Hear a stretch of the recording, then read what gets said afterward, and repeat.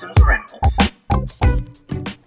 YouTube, Dosm Rider here with a Power Rangers theory video. So recently, we got some more expansion on the Morphin Masters in Dino Fury when we learned, very surprisingly, that they created the Ninja Steel powers, the Nexus Prism, the Dino Gem powers from Dino Thunder, and the Energem powers from Dino Charge. And that left a lot of us wondering, how could they have been involved in other seasons, potentially? So I thought it would be interesting to sort of go season by season and talk about each of the powers and if there's potential for them to reveal that they were involved in it. I mean, who knows, we could get more expansion on this, especially on a, a certain key ones I want to highlight during this video that I think that we could maybe highlight on. Because um, after all, we don't know. I mean, I didn't think, honestly, we would get Origins and the Ninja Steel stuff. I kind of made an offhand comment um, during the preview clip with Mick that maybe they would reveal more about the Nexus Prism, and I didn't really expect them to, but we actually know where it comes from now. So we still have a whole season and a half left, so it's certainly possible we could have some blanks filled in. So let's start right from the beginning. Go Ranger. No, I'm just kidding. Mighty Morphin. So obviously we already know from the show that the power coins come from Ninjor. But it's not impossible we could find out that there was some sort of Morphin Master influence. Some people have already talked about maybe Ninjor, you know, was trained with them or something like that. And the other people saying like, oh, Ninjor might be a Morphin Master or Zordon. I don't think that's the case. Now, they're not Morphin Masters. They're just kind of like not servants of Morphin Masters, but like followers in a way. Like they know who they are. Um, so I think it's possible that Ninjor was maybe influenced or helped when it comes to the coins. Um, I, I, always thought it was weird that the guy named Ninjor created the dinosaur coins, so I always kind of wished it was something else where like maybe the Morphin Masters created the original coins and then Ninjor either was trained or was inspired by them to create the ninja versions. But who knows? But there definitely could be a connection, and it also kind of opens things up to maybe explain where the Tyrannosaurus coin came from during the Dino team-up. If you remember, when when Devin went to go visit like the Morphing Grid station for Grid Battle Force, it manifested a Tyrannosaurus power coin that was given to Jason. So maybe that was the Morphin Masters that did that and not the Grid itself. So maybe there is some involvement there. At the very least, maybe the Morphin Masters are capable of doing something like that, which gave Jason his powers back, even if they weren't directly responsible for creating the powers. Then you do have stuff like the Alien Rangers and of course other new powers and at, as of the moment of this recording it's hard to say. I mean any number of those could have been influenced by the Morphin Masters. We just don't have enough information. But some of them all we have literally is a team and a design. Um, the Zeo powers is something a lot of people have brought up because of all the other ones being like gem or crystal based that maybe the Zeo powers come from the Morphin Masters. But as of right now in the comics we do have an explanation that the Zeo powers came from this like planet that housed the original power source that was actually cut off by the Morphin Masters. The, that planet and its universe were cut off by the Morphin Masters by one Morphin Master that stayed with it in order to protect those powers from being used by evil. It's possible we could get a further expansion on that. Maybe they were in charge of creating the planet or found it or something, but as of right now, they didn't create the Zeo Crystal. They came from something else, but they were involved with it to some degree because they cut it off. Then you have stuff like the turbo and in-space powers, which are basically man-made, like by Zordon. I think there was like a deleted story where Billy helped create the turbo powers or something, and it's just, you know, I think implied that Zordon was given the in-space powers to Andros. Uh, but you know, you never know. I want to say this, I don't think the Morphin Masters should be involved in every single power. I like the idea of them creating some artifacts and maybe helping certain teams or helping guide certain teams to create powers, but I don't need them to be involved in every single power. So I'm totally fine with the idea of Zordon just creating the in-space or turbo powers, but it's possible that they were helped uh, by the Morphin Masters, you never know. Then you have the Quasar Sabers from Lost Galaxy, which is interesting because we never did find out where they came from. And I remember that there was some rumors or uh, deleted storylines about they were originally going to have it more tied to Zordon, and I don't remember exactly what happened with that, but they, they deleted a lot of that stuff from early Lost Galaxy, so it's wide open for Origin, and given that, you know, they said in the Dino Fury episode that there's artifacts that were left, that's what Zayto said, I could easily see the Quasar Sabers being one of the artifacts, and I would 100% be in support of that. Then you have powers like Lightspeed Rescue and Time Force, which I think are just 100% man-made. Again, I don't need the Morphin Masters to be involved with everybody or even guiding them. I mean, I think it's possible and likely that they monitor those types of teams and maybe in certain situations would offer them aid or guidance, even unknowingly, but I don't think that the Morphin Masters have any direct involvement in creating the Lightspeed Rescue or Time Force powers.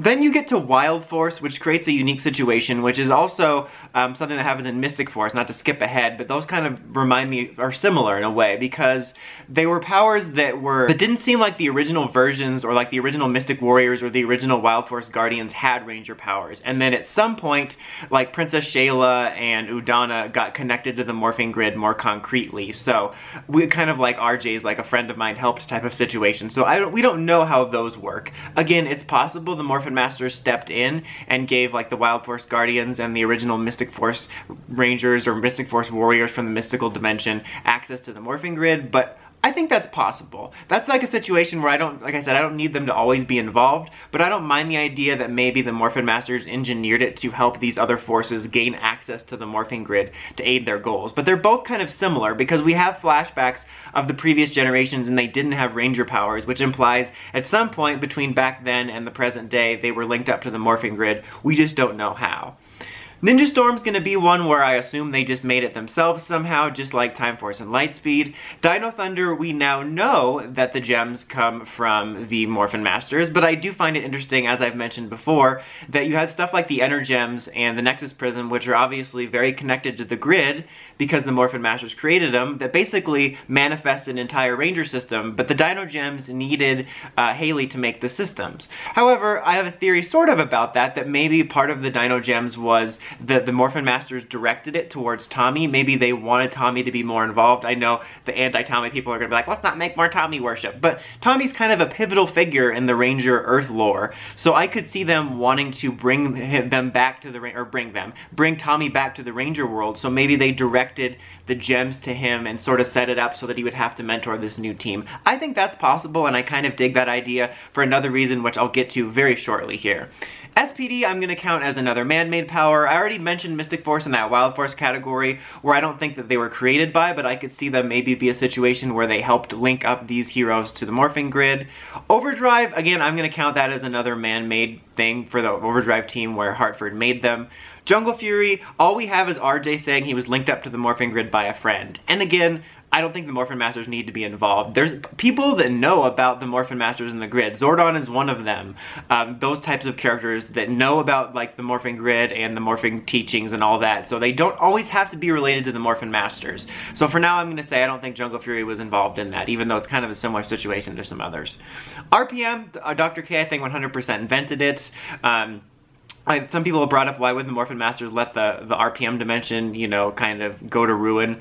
I don't know. Maybe they're just intervene in certain cases. Maybe there's some sort of balance that has to be achieved. Also, that wasn't invented when RPM happened. I'm to say something similar for Samurai, where maybe at some point the, the Morphin Masters could have helped them link up to the Morphin Grid, but again, we don't always need them to be involved.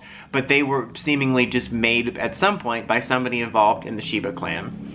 Then Megaforce and Super Megaforce is interesting, because I actually have kind of a theory video coming out soonish about where the Ranger keys came from, and this part, it's already been filmed, so I'm not going to amend it. That would require more work. No, but it's kind of discussing a different aspect of it. But it's very possible. I think the Megaforce powers were probably just built by Gosei. Um, but the Super Megaforce powers could have been something the Morphin Masters interfered with. Maybe they left Gosei with a contingency or left Zordon with a contingency that had this like Morphin Grid database, like a break glass in case emergency situation, and that's where it came from, and that could be very interesting. And obviously, we have the Energems and the Nexus Prism, which have already been explained. And we know for a fact where the Beast Morphers powers come from because we saw the origins of how Nate worked on them and the animal DNA and the Morph-X and all that, so we know that they didn't come from the Morphin Masters. We know the Morphin Masters observed them, and some people have brought up that maybe they're the ones that brought back Steel as a human from observing it, and I, I kind of like that theory. Same thing kind of going along with the Dino Coin theory with them. And obviously, we know that the Dino Fury powers are created. Um, also, just for some other ones, Hyperforce, um, we know that was built by Time Force, so I'm going to include that in the same category as Time Force. But then there's the Omega Rangers from the comics, which I think there's a very strong chance that they were created by the Morphin Masters. In the comics, it looks like we're going to be getting into some even more Origins lore, and the Morphin, Ma or the Morphin Masters, the or the Omega Ranger powers were given to the Rangers by the Emissaries, which are servants of the Morphin Masters. So it's extremely possible that the Omega Rangers powers were some of the earliest powers created by the Morphin Masters, and I wouldn't be surprised at all if that came about in the comic. Now another thing I wanted to talk about, just to wrap this up, was the Master Morpher. Did that come from the Morphin Masters? Um, that is one thing we still don't have origins for. When it first debuted, I assumed the comic would expand upon it, but it didn't. But I mean, Morphin Masters, Master Morpher, you just gotta switch the words.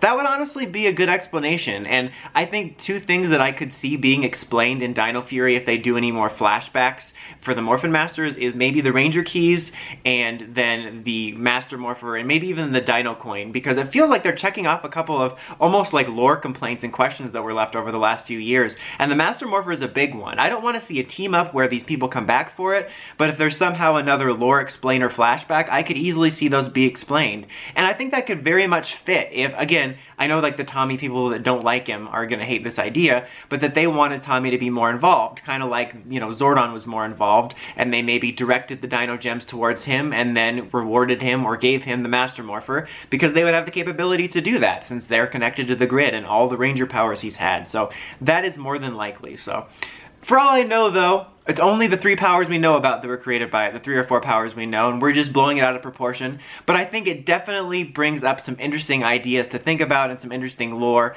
And whether it's in Dino Fury or the comics, I hope it's expanded upon because I think it's one of the most interesting things to happen in some time. But what do you guys think? What powers do you think the Morphin Masters had an influence on? What events do you think the Morphin Masters may have had influence on retroactively? Let me know in the comments as always. Until next time, like, comment, subscribe, and climb the steps and ring that bell so you can get notifications for my videos. Dosm Rider, signing